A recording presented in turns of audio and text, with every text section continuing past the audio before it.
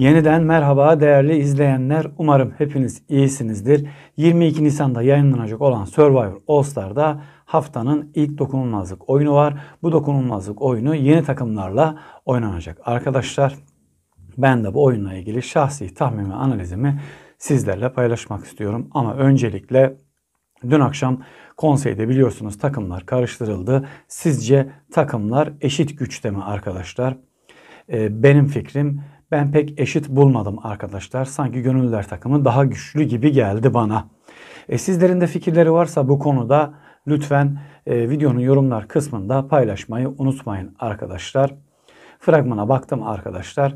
E, çok da bir şey yok fragmanda. Yeni takımlarla ilgili çok aslında e, takım olarak bir fikrimiz yok ama oyuncularla ilgili, oyuncuların performanslarıyla ilgili e, daha önceki oyunlardan biraz fikirlerimiz var.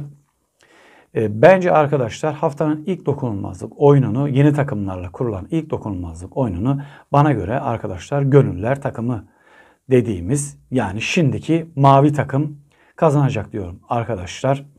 Mavi takım haftanın ilk dokunulmazlık oyununu bana göre alır arkadaşlar. Benim tahminim bu yönde. Sizlerin de bu oyunla ilgili, kazanan tarafla ilgili tahminleri varsa onu da videonun yorumlar kısmında paylaşmayı unutmayın. Videoyu beğenip kanala abone olmayı unutmayın. Beğeniler arkadaşlar gerçekten kanal için çok faydalı oluyor.